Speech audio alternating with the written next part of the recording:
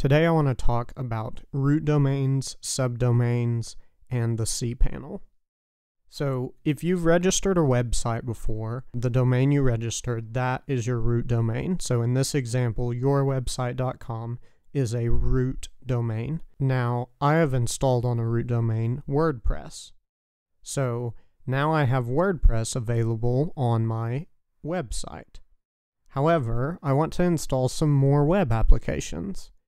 In order to do that, you need to set up subdomains. So what's a subdomain?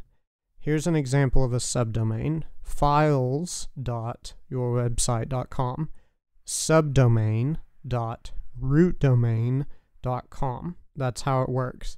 Now, once you set up a subdomain, though, you can install more web applications. So in this case, I can install a cloud storage web application to that subdomain separate from my root domain WordPress. I can do it again with a wiki if I wanted to as well. Now, if you sign into your cPanel, there's a few things I want you to notice. If you have a web server, you have a limited amount of disk space available, just like on a regular computer you have a limited amount of hard drive space available. However, you can make as many subdomains as you want. So, to access your subdomains, navigate to the domains section and find these subdomains here. Once you're there, you can specify a subdomain that you want to create.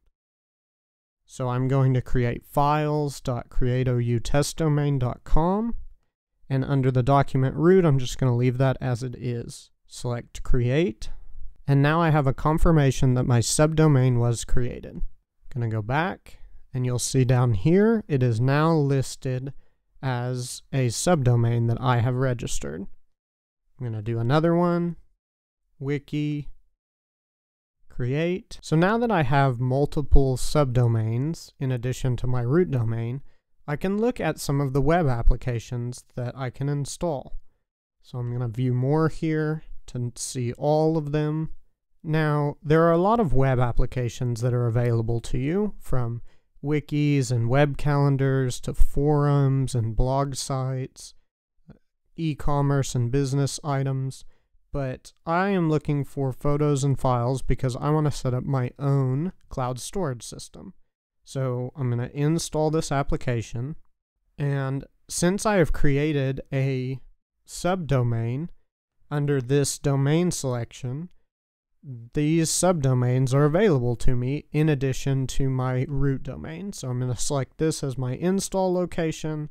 I'm going to leave my directory blank and you'll see down here this typed out is a reflection of what I have in these two fields.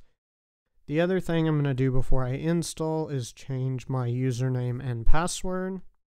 And once I've done that, I will select install. And now I'm installing my second web application to my web server. If you have a web server, I invite you to try out many of the different web applications.